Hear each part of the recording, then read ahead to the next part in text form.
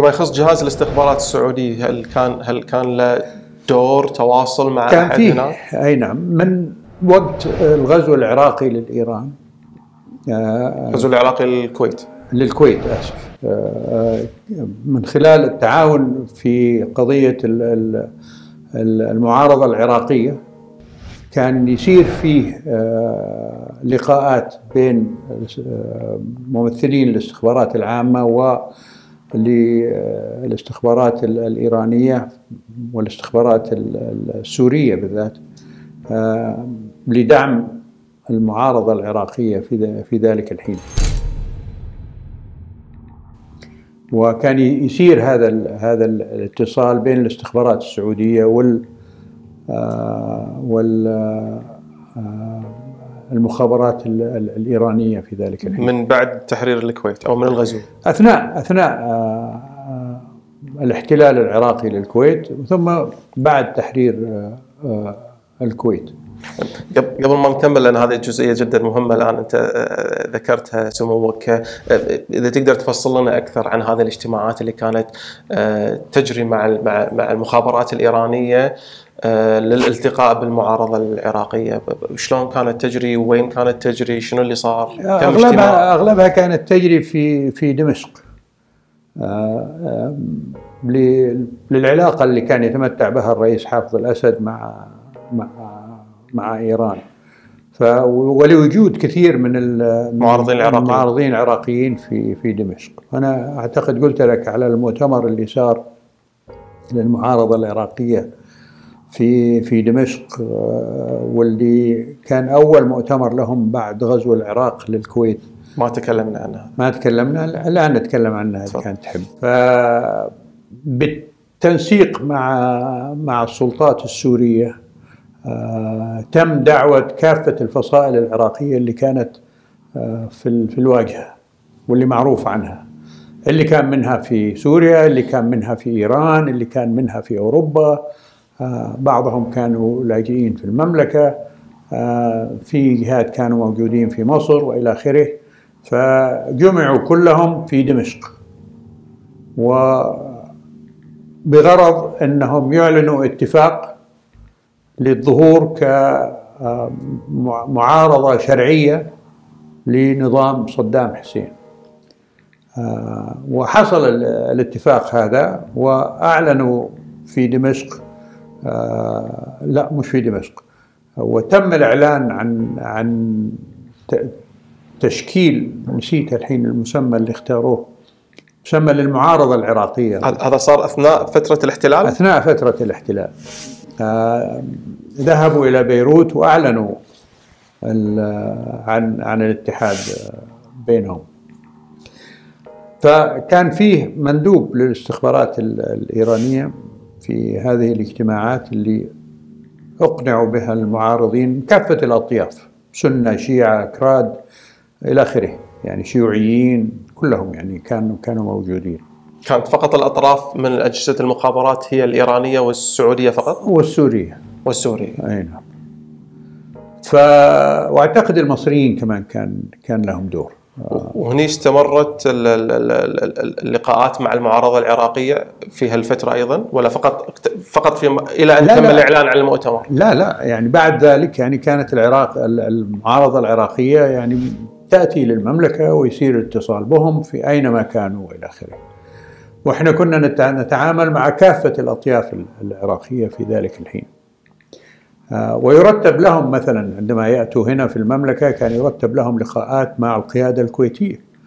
يعني شيخ جابر وشيخ سعد الله يرحمهم وشيخ صباح وغيرهم من المسؤولين شيخ سالم الله يرحمه والأجهزة الاستخبارات الكويتية أيضا كان كان لهم نشاط في الاتصال بالعراق بالعراقيين المعارضين. أي نعم.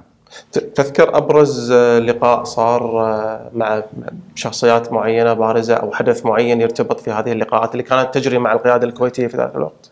يعني مرة أتوا كلهم واجتمعوا بالملك فهد هنا ثم مع الأمير عبد الله وبعدين توجهوا إلى الشيخ جابر آه، في الطائف. واجتمعوا معه آه، وبعد ذلك يعني كانت تجري الاتصالات آه، مباشرة يعني بين القيادة ال- ال- ال- الكويتية والمعارضة العراقية. دور جهاز الاستخبارات كان هني فقط هو عملية التنسيق. مجرد توفير مكان, توفير مكان ويعني وإمكانيات يعني لوجيستكس كان كنا نوفرها. خليني أكمل لك بعد ما لأنه يعني لابد من ذكر الشيء طبعا. هذا. عندما اجتمعت المعارضة العراقية في دمشق ثم ذهبوا إلى إلى بيروت لإعلان اتحادهم آه، فوجئنا كلنا إنه ثاني يوم بالضبط ثاني يوم أحد أبرز القيادة العراقيين في تلك الفترة ظهر على التلفزيون العراقي يسلم على صدام حسين ويعلن إنه هو انشق عن التجمع هذا وإنه كان مجرد وجوده هناك لكي يطلع على الأمور وإلى آخره. اللي هو منو هذا؟ ما حقوله أنا الحين. آه، بس تقدر ترجع أنت وتشوف مين مين هو الشخص هذا. فيعني كانت بالنسبة لنا كلنا يعني صدمة إنه أحد أبرز القيادات العراقية يتخذ هذا الموقف الشاذ الحقيقة من الآخرين. المهم فبس بالنسبة للعلاقة مع مع السلطات الإيرانية استمرت. يعني بعد ذلك لما لما تحسنت العلاقات بيننا وبين آه، إيران كان مصب النشاط بيننا وبين الاستخبارات الإيرانية استمر على مواجهة صدام حسين. لأنه زي ما تذكر يعني بعد ما تم تحرير الكويت استمر صدام حسين في الحكم. وفرضت على العراق آه، الحصار الجوي. حصارات مختلفة يعني كافة الأمور. وكان السعي السعودي في ذلك الحين لتوفير آه، أي إمكانية ممكنة لأن ينجح معارضين لصدام حسين في الإطاحة بصدام حسين. فهذا الأمر استمر بالتنسيق مع مع الاستخبارات الإيرانية ومع الاستخبارات آه، الأمريكية وغيرها من الاستخبارات يعني بصفة مستقلة يعني ما الأمريكان ما كانوا يجتمعوا مع مع الإيرانيين لما إحنا نجتمع معهم. بس يعني كان بس كان بس أكو تنسيق. بس, بس نبلغهم إنه إحنا الأمريكان. أي نعم. ونبلغ الإيرانيين إنه إحنا بننسق مع الأمريكان يعني. طيب من ضمن الملفات اللي كنتوا كنت تتناقشون فيها أيضا كان كنتوا توصلون عتب لأجهزة الاستخبارات الإيرانية أو تحاولون أن تثيرون معاهم موضوع يتعلق ببعض العمليات اللي كنت قبل شوي أنت ذكرتها تتعلق في يعني من من الأشياء اللي يعني كنا دائما ننبه السلطات الإيرانية عليها اللي هو هؤلاء السعوديين اللي يدربوا عند عند حزب الله وبعدين حسب الرصد اللي يتم لاتصالاتهم وإلى آخره وهذا آه، يذهبوا لإيران وكانوا دائما ردهم لنا أنه يعني زي السوريين يعني بحثنا عنهم ولم نجدهم. أنتم كانت عندكم قائمة بالاسامي؟ الله الله قائمة بالأسماء وبالعناوين يعني كمان يعني عناوين السكن وإلى آخره وتلفونات اللي هذا. فكان دائما يجينا رد أنه يعني بحثنا ولم نجدهم يعني ربما أنهم يعني هربوا حسب كلامهم يعني لأماكن أخرى. المهم يعني هذا كان مدى التواصل بيننا وبين الاستخبارات الإيرانية في ذلك الحين. طيب آه، بسنة 94 آه، تأسست حركة طالبان. آه، شو اللي تذكره سموك في ذلك الوقت عن مرحلة تأسيس حركة طالبان؟ حركة طالبان وانت صادق بدأت عام 95 أعتقد إذا ما كنت غلطان يمكن الإعلان الرسمي عنها. يمكن. بس هي كانت يعني ما سمعناه في ذلك الحين كانت الحرب الأهلية قائمة في في في أفغانستان وزي ما ذكرت لك يعني المملكة اتخذت موقف أنها أوقفت كل المساعدات آه، للمجاهدين الأفغان و آه، أنذرتهم بأنها لن تقدم أي دعم إلا إذا أوقفوا القتال. ففجأة سمعنا في, في الأخبار عن مجموعة من من ما سموا بالطالبان وأغلبهم كانوا آه، طلبة يدرسون في مدرسة تابعة للمذهب الحنفي آه، في آه، منطقة كندهار ومنهم كانوا أعضاء في في منظمات جهادية أفغانية شاركوا في القتال ضد الاتحاد السوفيتي وقواته عندما كان محتل أفغانستان. انه هؤلاء المجموعة آه، ذهبوا إلى إلى حاكم الولاية في ذلك الحين عندنا أو حاكم كندهار بالذات اللي هو كان يمثل أحد الجهات الجهادية ماني فاكر الحين أي جهة. وأقصوه من من من من مكتبه. وحاكموه شرعيا ونفذوا فيه حكم الإعدام للتهم اللي كانت موجهة اليه باغتصاب الأبرياء والاتجار بالمخدرات ويعني سوء معاملة المواطنين.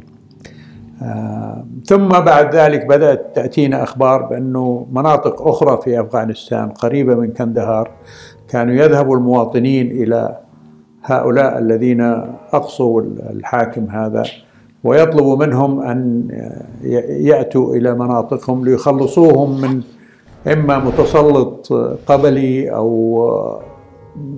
من المنظمات الجهادية السابقة وغيرها ويتم لهؤلاء الطلبة ان أن يخلصوا المنطقة هذه من من المسؤولين الذين يسيئون التصرف وهكذا. وبهالطريقة انتشرت الحركة في أماكن مختلفة من من أفغانستان. أنا ذهبت لباكستان بعد ما حصلت الأشياء هذه وأيامها كان قبل الإعلان الرسمي لطالبان أم بعد؟ لا بعد الإعلان في عام 95 وكان أيامها الله يرحمها بنزير بوتو رئيسة وزراء في أفغانستان في باكستان. وكان وزير داخليتها جنرال اسمه متقاعد كان اسمه الجنرال بابر. في لقائي معه سألته قلت له ما هي حركة طالبان يعني اللي اللي قائمة الآن. فقال لي أوه هذول يعني شرح لي إنهم يعني هذول هم الطلبة قاموا ضد الاستبداديين وال وال وال والذين حكموا بطريقة سيئة في مناطق مختلفة وبدأوا ينتشروا. وقال لي أنت ما قابلتهم؟ قلت له لا والله ما قابلتهم. قال هذول أبنائي. يعني أنا حأدعي لك عدد منهم ليلتقوا بهم. وفعلا ثاني يوم أتاني في الفندق في إسلام آباد اللي كان رقم اثنين. في القيادة للطالبان اسمه محمد محمد رباني. وكلمت معه وقال لي يعني إنه إحنا فعلا إحنا ما لنا أغراض من من عملنا سوى رفع شأن كلمة الله سبحانه وتعالى.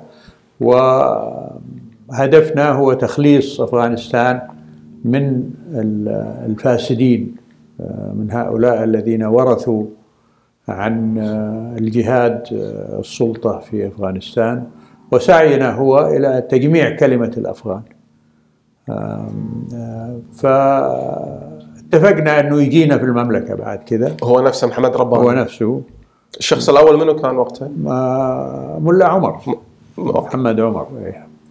هو كان في في كندهار يعني بس وقتها في هالزيارة هذه ما التقيت فيه ملا لا. ما التقيت فيه فقط محمد رباني محمد رباني وبالفعل يعني بعدها بكم شهر أتانا في المملكة هو كان يعاني من من يشكو من من من سوء الصحه والى اخره وعرض على الأطباء هنا ويعني وفروا له ما يمكن توفيره من علاج والى اخره. ثم عادوا إلى إلى عاد إلى أفغانستان. في هالفترة هذه من عام 95 إلى عام 96 انتشرت الحركة. آه تقريبا وغطت آه سلطتها آه أغلب أراضي أفغانستان. فمن ضمنها اللي كان قائم على الأمور في مدينة جلال آباد كان أحد رموز الجهاد الأفغاني الملا يونس خالص. يزعم فصيل من فصائل الجهاد المهمة في الحرب ضد السوفييت. كان هو استقبل أسامة بن لادن لما ترك السودان, السودان. وذهب إلى إلى أفغانستان. يونس خالص وفر له اللجوء. في في جلال اباد فعندما حركة الطالبان تنازل لها يونس خالص بالسلطة في جلال اباد ورثوا اسامه بن لادن من آه، يونس خالص. طيب على أسامة بن لادن راح أتكلم عنه بعد شوي لكن متى قررت المملكة العربية السعودية الاعتراف الرسمي بحركة طالبان؟ السنة اللي بعدها. 97 عندما عندما احتلت آه، الحركة أكثر من 90% من أراضي أفغانستان ومن ضمنها العاصمة كابول. ف وبعد احتلالها لعاصمة كابول المملكة قدمت اعتراف بالحكومة آه، ووفرت سفارة في في كابول كدليل لاعترافها بحكومة طالبان، لكن بشرط أن لا يكون هناك مساعدات اقتصادية إلا إذا انتهت الحرب الأهلية في أفغانستان، لأنه كانت لا تزال آه، لا يزال قتال قائم بينهم وبين الحزب الإسلامي في شمال أفغانستان اللي كان يقوده أحمد شاه مسعود. ما كان يشكل الموضوع حرج أو تحدي بالنسبة للمملكة العربية السعودية الاعتراف بحركة طالبان كونها يعني هم ثلاث دول فقط في العالم التي اعترفت بحركة طالبان. إحنا رأينا في ذلك الحين ومو أنا بس يعني القيادة رأت في, في ذلك الحين إنه التواصل معهم أفضل من أنهم يترك يتركوا لمن يمكن أن يؤثر عليهم من جهات أخرى. آه، خاصة إنهم في في توجههم تجاه المملكة أبدوا كل آه، مؤشرات الصداقة والتعاون وإلى آخره ونهجهم حسب ما قالوا لنا هو أنه يكون هناك سلام في في أفغانستان. ورأينا خاصة في السنتين الأولى لانتشارهم من عام 96 إلى عام 97 أنه كثير من المواطنين ال ال ال الأفغان كانوا يرحبوا به. أغلب المواقع اللي استولوا عليها في ذلك الحين أتت بمبايعة مباشرة من المواطنين لهم آه، بدون قتال حتى زي ما زي ما حصل في جلال آباد مثلا. بس طبعا القتال استمر آه، ضد ضد جهتين في الحقيقة بين الطالبان. آه، الجهة شاه مسعود. أحمد شاه مسعود والجهة الثانية كان الحزب الشيعي اللي كانت تأيد إيران في ذلك الحين. شو اسمه؟ تذكر اسمه. نسيت والله اسمه الحين. طيب. آه، آه، معتقل السابق في غوانتنامو اسمه حسين عبد القادر هو أصدر كتاب بعنوان ذكريات معتقل. ذكر حركة طالبان حركة طلابية دينية لكنها باكستانية التخطيط. نشأت في المحضن الدافئ باكستان تحت سمع وبصر الأمريكان. الأمريكان يعرفون حركة طالبان كما يعرفون أبنائهم. والله يمكن هذا ادعاء منه هو. أنا لا أقدر أحكم على مدى معرفة الأمريكان بهم. بس أنا زي ما ذكرت لك يعني في بداية في بداية الأمر كانت آه، آه، ردة فعل آه، عفوية من قبل هؤلاء ضد حاكم مستبد في منطقة كندهار واقصاؤه ومحاكمته شرعيا والبدء في تطبيق ما ما قالوا عنه الشريعة الإسلامية. لتوفير الأمن والاستقرار للمواطنين. ثم جرى دعوتهم من مناطق أخرى لكي يوفروا الأمن والاستقرار لهذه المناطق. وزي ما ذكرت لك باكستان بدون شك دعمت الحركة. بس ما أعتقد إنها أسستها. لكن بعد ما رأت إنها بدأت تنتشر وإلى آخره وزي ما ذكر لي الجنرال بابر إنه هؤلاء أبنائي آه، بدون شك يعني كان لباكستان علاقة مميزة مع الطالبان. عن أي جهات أخرى. حسب معلوماتك وتتبعك للملف في ذلك الوقت و... وإذا أخذنا بعين الاعتبار أيضا العلاقة اللي كانت موجودة بين بين السي آي إي وبين أجهزة الاستخبارات الباكستانية في ذلك الوقت كان أكو أيضا ضوء أخضر أمريكي لاحتضان مجموعة الطالبان من قبل باكستان؟ ما أعتقد إنها مسألة ضوء أخضر، يعني أعتقد باكستان يعني كدولة مستقلة يعني لا شك إنها رأت في الطالبان أنها يعني أحد الأدوات اللي ممكن إنها تتعامل معها وتعاملها معها سيكون في مصلحة الباكستان فما أعتقد إنها الباكستانيين راحوا للأمريكان وقالوا لهم يعني هل تسمحوا لنا نتعامل مع مع الطالبان ولا لا؟ وأمريكا ما صدر منها في البداية يعني أي رد فعل تجاه الحركة هذه إلا بعد ما أصبح لها بعض ال ال ال الإجراءات وال وال والافعال اللي هي نبهت العالم إلى أنهم ربما لهم مواقف ليست مستساغة خاصة عندما دمروا التمثالين لبوذا اللي كانت قائمة في منطقة أعتقد اسمها باميان في وسط أفغانستان. هذه صارت في نهاية التسعينات تقريبا. أيوه. يعني كانت أظن عام 98 أو 97 يعني في آخر 97 بداية 98 آه بس اللي أستطيع أني أقوله يعني عن عن علاقة أمريكا بالطالبان أنه آه بعد ما استولوا على كابول آه وصار لتواصل بين أفراد أو قيادات من الطالبان مع سي اي في الولايات المتحدة. ومن الأمور اللي يعني ذكرت في الصحافة الأمريكية نفسها أنه في عندما حدثت أحداث 11 سبتمبر كان هناك وفد لل الطالبان موجود في نيويورك. كان أتى إلى نيويورك قبل ما 11 سبتمبر ليطالب الأمم المتحدة بأنها توفر للحكم الجديد حسب كلامهم في أفغانستان بمقعد أفغانستان في الأمم المتحدة. وجرى اتصال بين هذا الوفد مع مسؤولين أمريكان في نيويورك. واعتقد أيضا استمر ال ال هذا صار في ال 2000 يمكن 2001 2001 أحداث 11 سبتمبر إيه. آه اللي اجتمعوا بعدين في تكساس. اللي اجتمعوا بعدين في تكساس. اجتمعوا في تكساس الله الله.